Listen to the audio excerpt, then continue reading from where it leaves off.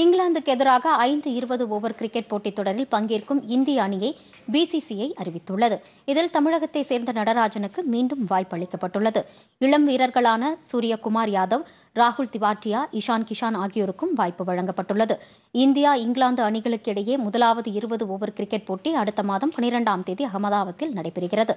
இந்நிலையில் விராட் கோலி தலைமையிலான அணியில் ரோஹித் சர்மா கே எல் ராகுல் ஷிகர் தவான் ஸ்ரேயஸ் ஐயர் ஹர்திப் பாண்டியா ரிஷப் பந்த் ந- ஷக்கல் வருண் சக்கரவர்த்தி அப்சர் பட்டேல் வாஷிங்டன் சுந்தர் புவனேஸ்வர் குமார் தீபக் சகர் ஷைனி ஷர்துல் தாக்கூர் ஆகியோர் இடம்பெற்றுள்ளனர்.